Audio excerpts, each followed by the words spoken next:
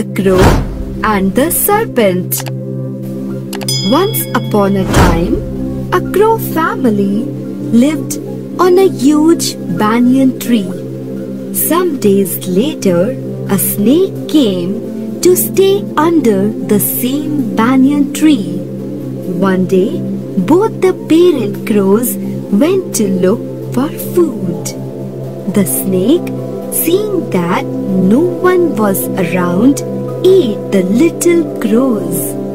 When the crows returned, they realized that the snake had eaten up the young crows. After some time, the mother crow again laid eggs. This time, only the father crow went to look for food. The snake once again climbed the tree to eat the eggs.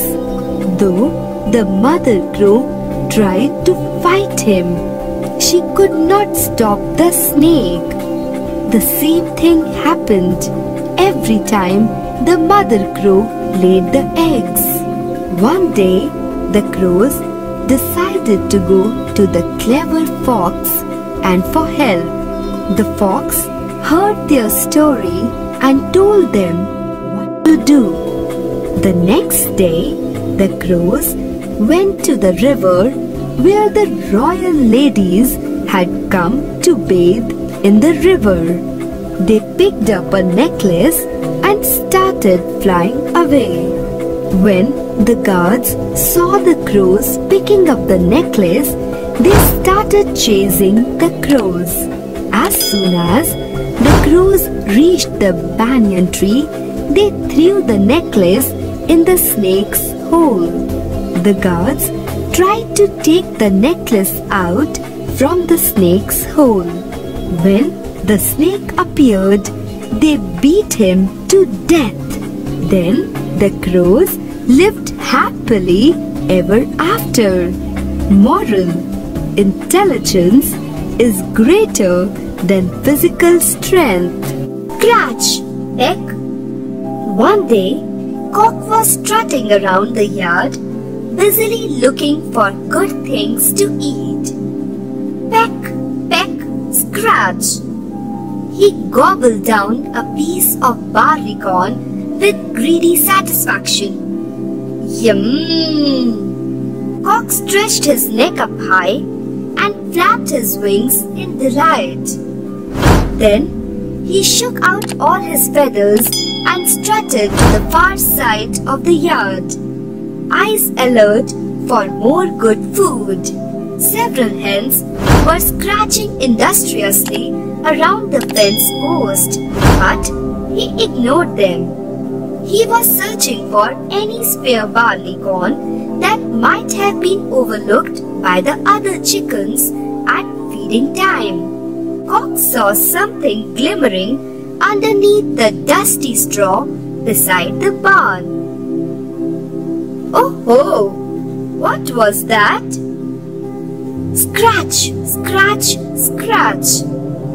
Cock worked conscientiously, trying to root out the object which glowed in the morning sun. A moment later, he dug out a very large pink pearl. Cock stared at the pearl, looking at it first through his right eye and then through his left. What sort of strange seed was this? He pecked it a couple of times. It rolled back and forth under the force of his strong beak, but it didn't break open like a seed would after such a blow. Cock scratched at it with his claws. Still nothing. The pearl rolled a few inches away from Cock's foot and landed next to a spare barley corn that the hens had missed. With a delighted cluck, Cock pounced on the barley corn and gobbled it up. Then Cock took a step back and his foot slipped when it landed on the pearl. Reminded once again of the strange pink seed, Cock turned around to look at it. He eyed the bird suspiciously and pecked it again. It didn't break open. Cock gave a cluck of disgust.